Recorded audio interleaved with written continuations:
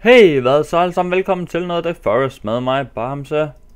Lige nu der har jeg lige øh, skruet ned for lyden ind på øh, videoen, fordi at jeg lige har noget, jeg skal fortælle jer. Øh, I stedet for at filme hver eneste lille ting, der sker i The Forest, så har jeg valgt, at, øh, at det første, når jeg ligesom har lavet fremskridt, at jeg så starter igen. Fordi ellers så tror jeg, at det bliver lidt for kedeligt for jer i længden, hvis I skal have hver eneste lille detalje, som jeg laver med øh, i videoen. Så derfor så har jeg besluttet mig, at det bliver, hvis der sker noget spændende i en episode, at så kommer det lige med, eller, eller også bare når der kommer fremskridt. Men i hvert fald, i den her video, den synes jeg lige, der var sjov at få med, fordi at jeg overlever sindssygt mange angreb fra mutanter. Øh, så dør jeg godt nok øh, af en bok, men det må jeg jo lige se med så. Øh, ja, hvad er der ellers? Ja, yeah ellers håber jeg bare, at I, I vil se med. Øh, siden, siden første episode, der er der sket lidt ting. Jeg har fået bygget et øh, treehouse nu, har, har lidt, øh, ja, lige sådan lidt ressourcer. I hvert fald, håber bare, at I vil se med. Hej. Mutant øh, kanibal øh, besøg. Jeg kan ikke se nogen lige nu, så jeg tror, at jeg ser, om jeg ikke kan bygge et øh, bål, det her store et, fordi det lyser i hvert fald hele området op. Så jeg sætter lige her. Og så er det godt, man lige har lidt af det her reserve, som ikke skal til at fælde træer. Fordi hvis man lige pludselig løber, og man har tre... Øh, og løber rundt med træer, så, så er man altså rimelig øh, forsvarsløs over for mutanterne. Og vi mangler bare lige en. Så er det godt, at jeg lige hurtigt kan se dem her. Og så skal jeg tænde lyset. I hele sidste episode, der fik vi jo slet ikke besøg af de der rigtige... øh, ulækre mutanter, så derfor så er jeg... Wow, det var en fugl eller et eller andet. Så derfor så er jeg overbevist om, at jeg får besøg af dem i den her episode. Så... Hvad laver du, Salamander? Nå. Nu skal jeg vel bare vente og se, og det her lys her, det lyser i området sådan rimelig kraftigt op, så de burde komme øh, hen til lyset.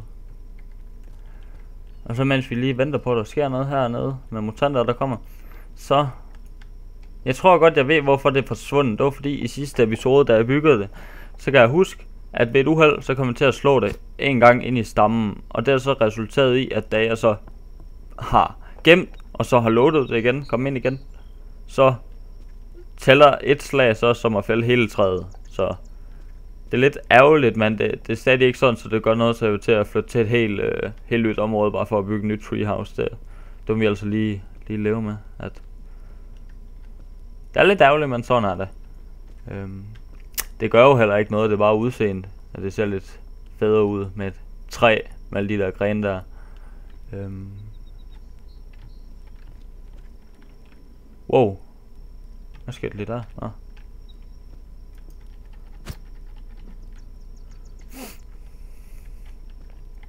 Jeg kan se noget helt derude. Øh, tror jeg. Jeg er ikke helt sikker. Der var et, et, et, et eller andet dyr eller noget, der lige gik i lige der.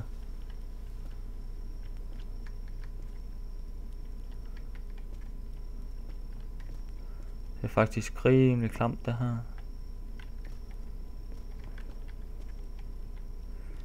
Øhm. Det er bare træls, fordi når det bliver lidt, lidt mørkere, øhm, eller der går lidt længere tid her om natten, så begynder jeg at fryse. Og jeg håber lidt, det der bål dernede, det kan holde, øh, holde mig varm, selvom jeg er heroppe, men jeg tvivler. Okay, lige nu så har vi ikke fået mutantbesøg. Og det er rimelig godt.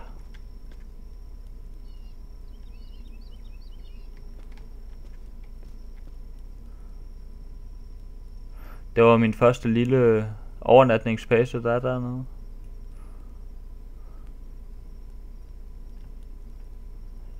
Kan lige hoppe øh, op på min treehouse og så se. Hvis jeg ellers måtte komme op. Sådan der.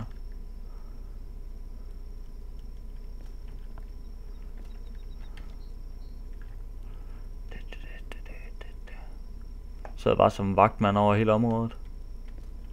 Øh. Jeg skal ikke lige hoppe ned, fordi så mister jeg liv. Det, det vil være lidt træls. Jeg har fundet ud af, at hvis, at man, hvis der kommer ild i et træ, så brænder hele træet ned, og så vælter det. Øhm, men det falder ikke sådan ligesom om hakker, så man kan ikke få loks ud af det. Det forsvinder bare. Der var noget dernede.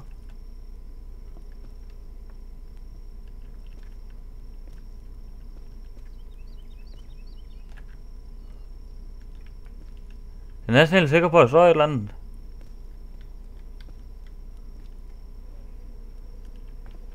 Det er så klamt. Lige pludselig så finder jeg, og så drejer jeg mig bare rundt. Så er der bare en eller anden mutant, der står og kigger på mig.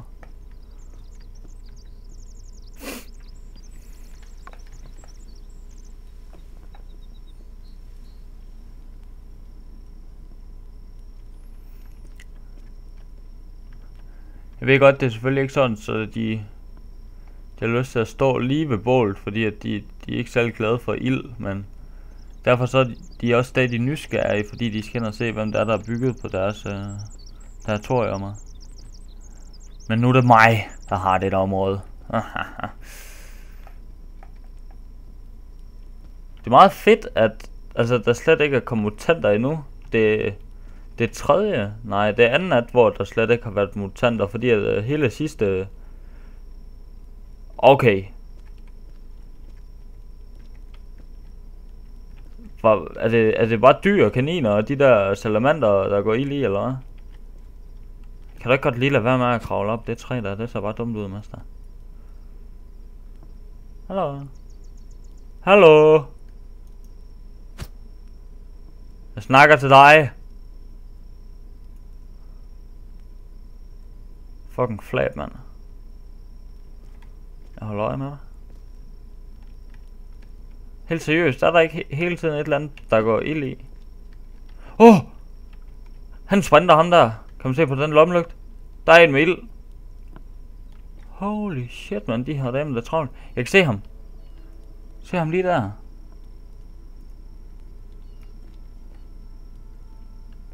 Der sidder sgu da også en dernede. Der sidder en der der i midten af skærmen. Hvad fanden?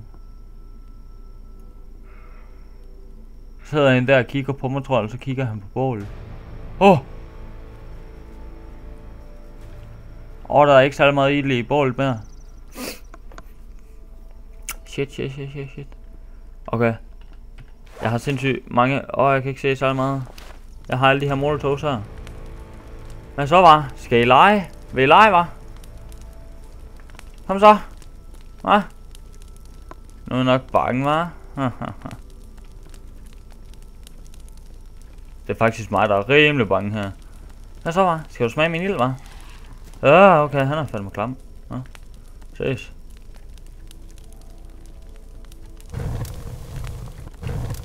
Sådan der, så lyser det lige lidt uh, mere. What up, G?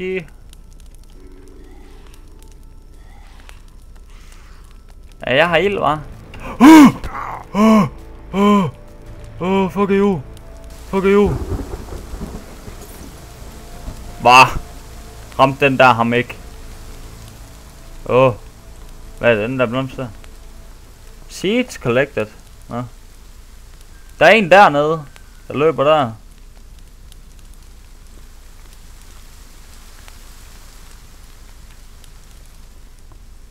Fuck, det her det er klamt, mand. Jeg tænder altså lige den her, selvom den lyser ikke så meget mere end... Uh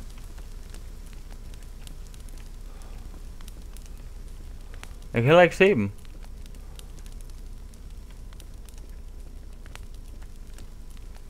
Okay, jeg tror lige, jeg løb lige lidt, lige lidt for langt væk fra, øh, fra mit område her.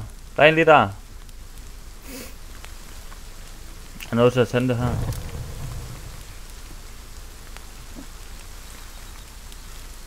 Jeg er kold og våd. Byg et bål for at tørre. Okay, så det er ikke fordi, der er et kæmpe bål her, der lyser. Nej, nej. Du skal dø. You're gonna die, motherfucker. Ja, var. Og den smager ilden, var.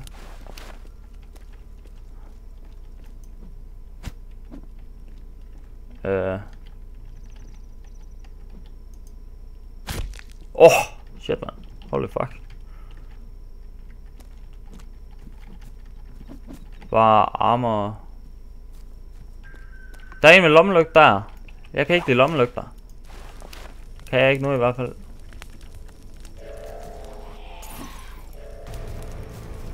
Åh, oh, fuck af med dig, mand. Jeg har ikke så meget liv i forvejen, mester. Ham der med lommelygten. Han dør nu. Han dør nu. Taste my fire. Hvorfor? Åh! Oh!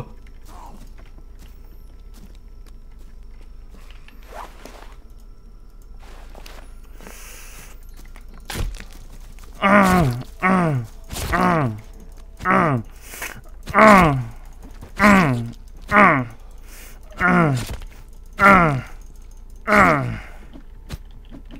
kan du lære det. Ha! Ingen fucker med mig, mand. Skal vi se, om nogen af dem heroppe, de er døde? Uh, holy shit, man. Det tror jeg da godt nok lige.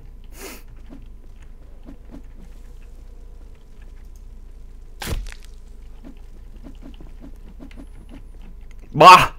Hvad? What the fuck is happening? Kan jeg lande på huset? Kan jeg lande? Var jeg død? Nej, hvor...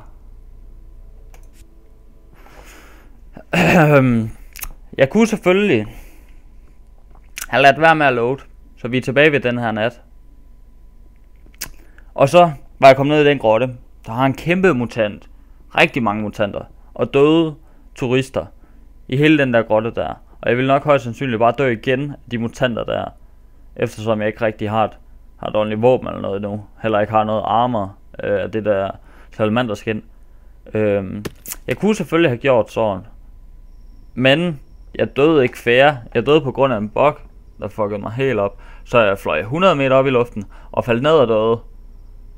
Øhm, kan vi ikke godt blive enige om, det må jeg altså godt lige skrive, fordi hvis jeg så bare havde spillet, det, det var ikke fair. Det var noget hvis jeg havde slået mig i en kamp eller et eller andet, men når jeg dør på grund af en bokser, jeg ved en hvordan jeg døde, altså forhold for fanden.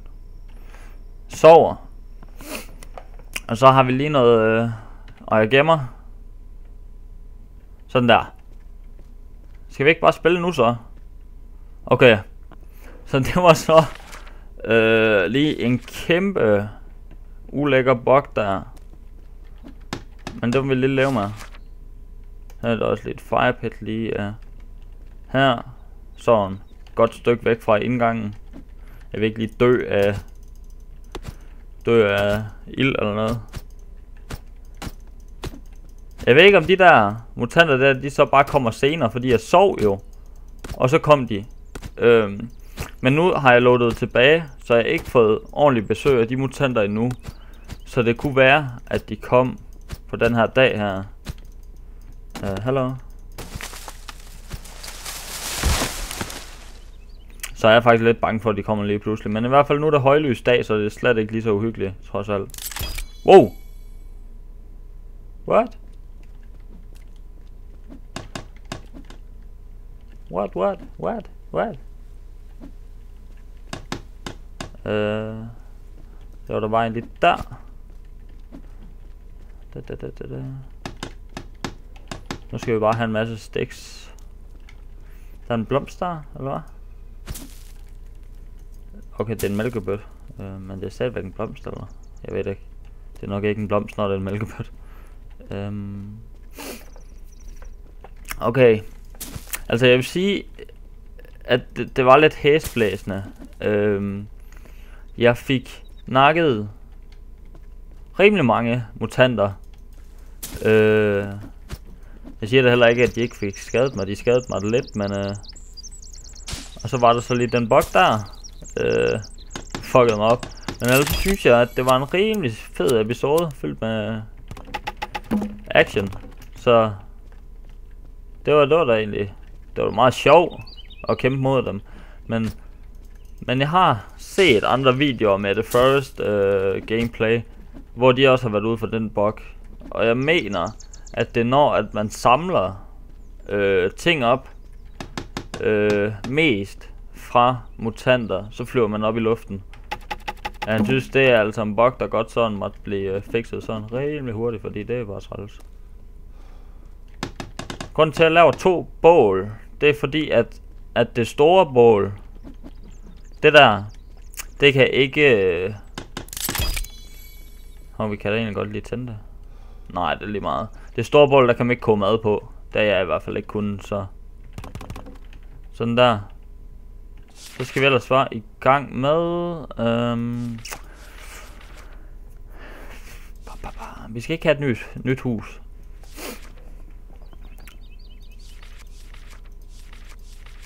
Vi skal have nogle defensive walls. Men inden vi laver det, så kunne jeg egentlig godt tænke mig en stakeholder mere. Bare fordi at sådan noget som, altså... Øh, ja, yeah, altså... Det er jo altid dejligt, hvis at man alligevel har nok, og man ikke lige går og bygger noget, at så... Så kan man bare lige gå hen til ens... Øh, hvad er det egentlig, jeg prøver at sige? Så kan man bare lige gå hen til ens ting her. Alt det her. Og så, øh, og så tage derfra. Så man ikke skal til at hele tiden gå ud og skaffe ressourcer, eller hvis man får uventet besøg af de der mutanter der, så skal man bare skynde sig at have bygget et eller andet, så er det rart. Man ikke skal til at fælde træer og alt det her. Så er det godt lige at have nok med forsyninger. Sådan der. Øhm. Nå, men det var alle de her vægge her, vi skulle have bygget. Vi skal nok også snart lavet nogle fælder så. Og jeg vil godt have et stort dejligt område her. Så vi har plads at gøre med. Sådan der. Det er altså stadig lidt ærgerligt det der. Jeg kan ikke lade være med at snakke om det. Okay, men i hvert fald tak fordi I har set med i den her episode. Når man tænker over det, så er det en meget, meget kort episode. Fordi, at, øh, fordi vi sådan lidt blev sat tilbage i øh, tiden ind i spillet. Øh, så, men i hvert fald tak fordi I har set med alligevel. Øh, jeg håber da, at jeg får flere af den slags øh, netter, hvor jeg skal overleve fra, wow, fra rigtig mange mutant øh, besøg. Og så hvor jeg ikke dør af fall damage. Det fjerner lidt øh, det sjove ved at nakke mutanter. Men øh, så kan det gå. Så i hvert fald tak fordi I har set med. Hvis I vil have mere, så husk at like, kommentere, subscribe. Øh, ja, yeah, det er vel det. Pas godt på os selv. Håber vi ses en anden gang. Hej hej.